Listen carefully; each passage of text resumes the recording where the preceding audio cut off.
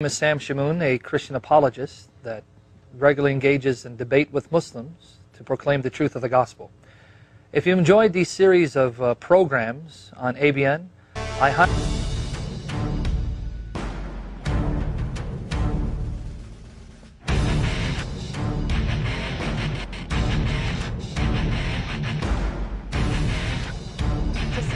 was Muhammad a true prophet?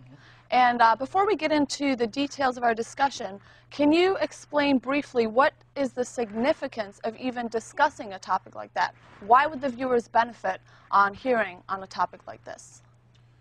Well, there are 1.5 billion Muslims in the world today, and uh, many of these Muslims are intent on obeying the commands of Muhammad, commands to fight unbelievers, commands to uh, subjugate the entire world to Islam.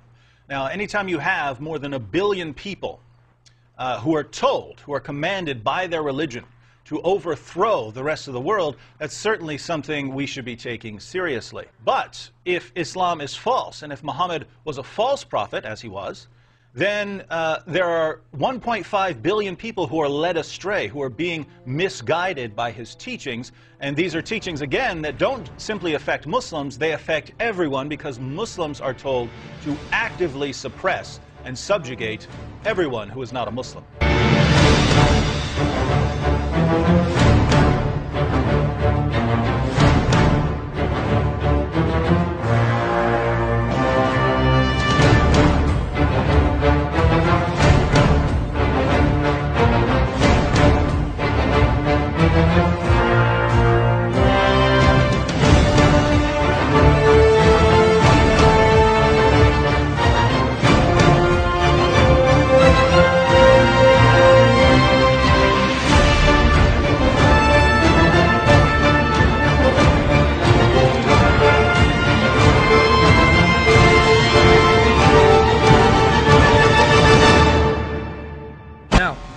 Uh, according to chapter 9, verse 29, it says, Fight those who do not believe in Allah nor the last day. doesn't say fight those who oppress you, fight those who attack you. Fight those who don't believe like you. you we've been quoting that passage over and over and over again, providing the historical context, the interpretation of scholars. We are not misquoting it. It says uh, what it says, and it means what it says.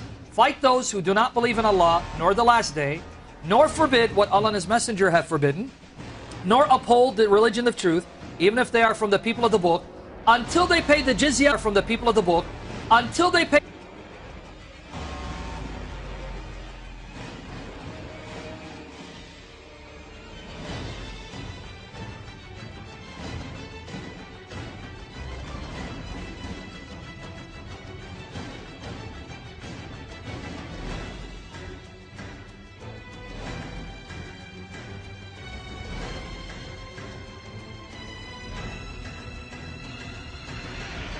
Don't want to pay the tax or uh, become a Muslim. What happens?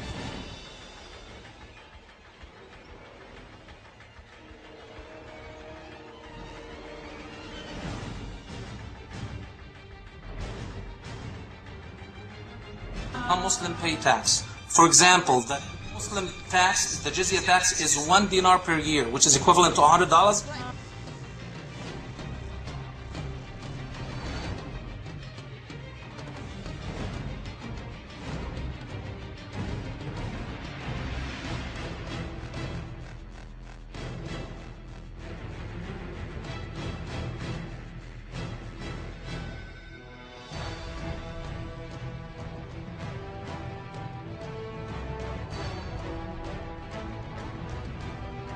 A, a straightforward question. Basically, if a if, if a non-Muslim, I'm not a Muslim, if if the United States became an Islamic state, would I be subjugated to either become Muslim or pay the jizya tax or be killed?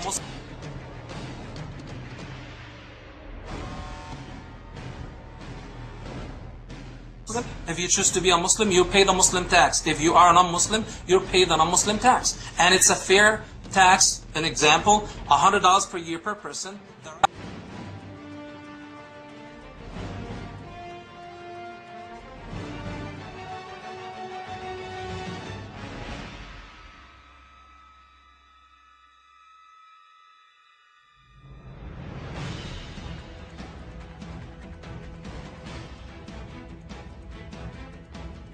Don't want to pay the tax or uh, become a Muslim. What happens? But if you want to pay tax in America, which is not a Muslim state now, what would they do to you?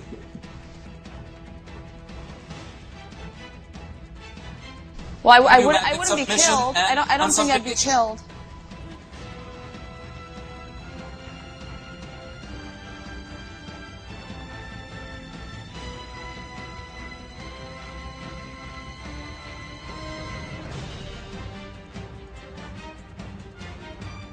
Right? Well, who said that you're going to be killed Okay, if you so don't then- pay that? Right, well, well, that's just my question. I just wanted to ask the question because it's been said that the Quran does state that you have those three options as a non-Muslim in, in, in an Islamic state, which is what I wanted clarification on. The verse is there. If you don't pay tax, you should be fought by the authorities, like the IRS fight people in this country if they evade or cheat on taxes, like any country in the world. It's not unique to the Muslims, and the Muslims themselves pay tax, and if they don't pay, they would be subject to the authorities for paying their taxes. On top of that, here's the subjugating uh, aspect of also being a non-Muslim. You're exempt from military service. How bad is that? I bet Mr. Spencer would want every Christian to go there and be killed, him and his children, just not to be persecuted by Muslims for not being exempt from the military service.